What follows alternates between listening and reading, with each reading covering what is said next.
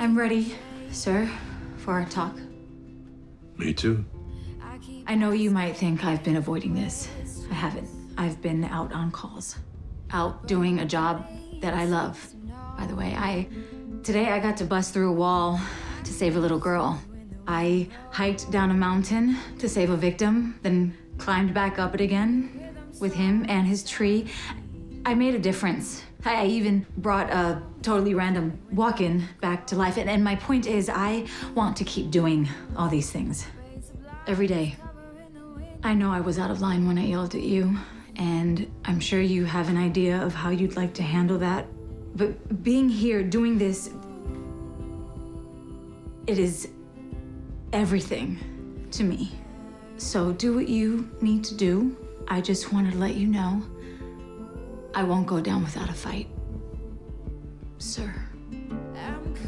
I thought about it. You know, reprimanding you. Maybe even strip the single bar from your collar. But that would be unfair. I was out of line, too.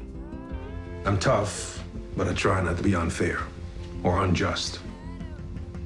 I have high expectations for my crew and for myself. Could you admit your flaws? I would like to have the respect of my crew, not out of default.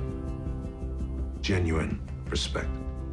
And I believe that has to start with you. So I was thinking you and I should sit and talk together. Not on shift. Sometime when we won't be interrupted by calls all day. Oh, you mean over coffee or something? Sure, that, that could work. Or not. I mean, we don't have to. Coffee it is. Thank you. You're welcome. Yeah.